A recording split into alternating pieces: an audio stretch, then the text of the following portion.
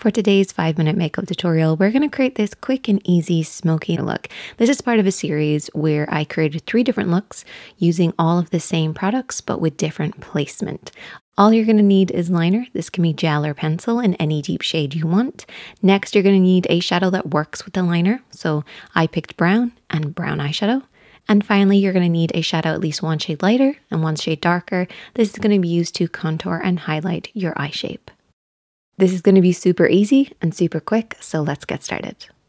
As with all the looks that you create, you always want to start off with a good base, especially when you're doing a super smoky eye. So make sure to apply some eyeshadow primer. This is going to create a barrier for the eye makeup. So make sure you apply an eyeshadow primer of some sort. This is just going to create a blank canvas for us to work on. And this is also going to prevent our eyeshadows from going too muddy and too over blended.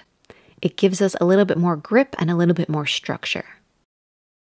We're going to start off with a gel liner. This doesn't have to be a thick layer, doesn't have to be a super dense layer. A sheer layer is all you want. And you just want to apply this from the lash line all the way up, covering just the lid area.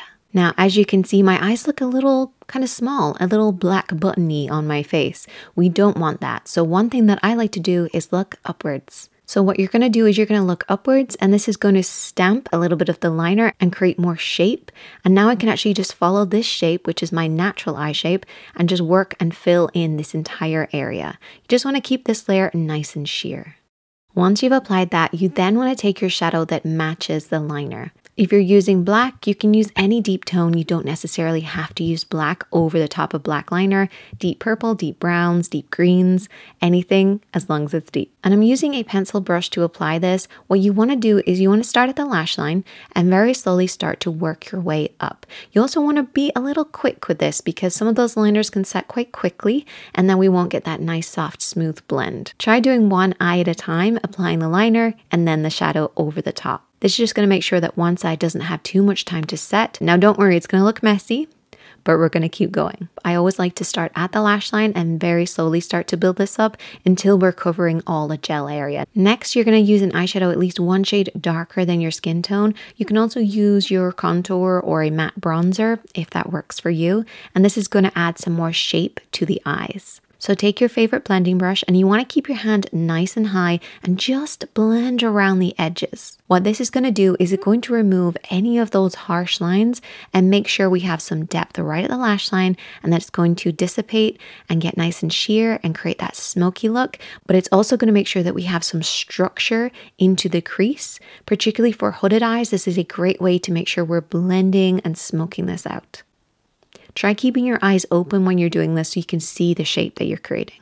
Now, if you have watery eyes, or maybe this is the sixth eye makeup look that you've done today because all of the other ones, the hard drive got damaged and you lost everything, so you had to start again, but maybe you have a little bit of weeping on the side of your eye. No eye makeup is going to stick to this area once this starts, unfortunately, but a little thing that I like to do is take mineral foundation, press this over the top, wait until the eyes kind of settle a little bit, and then I can go back in with a bit more of that deep shadow and press this over the top of the loose mineral foundation. This is the only way that I can find that fills in that gap. I don't know what my tears are made of, but honestly, it's the best eye makeup remover in the world.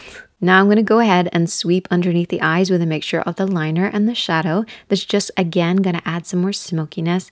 And yes, it's going to look very messy. But that's the thing with smoky eyes. They look very messy until they're done. Don't worry, you can just add a little bit of that bronzy tone that we used in the crease and smudge and blend this underneath the eyes. This is going to smudge out any of that liner underneath. And I'm also going to add some more drama by adding the liner to the waterline as well. This is really going to add that smoky effect. And look at the difference that lashes and a little bit of highlighter makes. Once you clean up underneath your eyes, apply a little bit of highlight and apply your lashes, everything is going to come together. Smoky eyes look very messy and then they look awesome. You just have to not be afraid of them. And when in doubt, do this before you take a shower.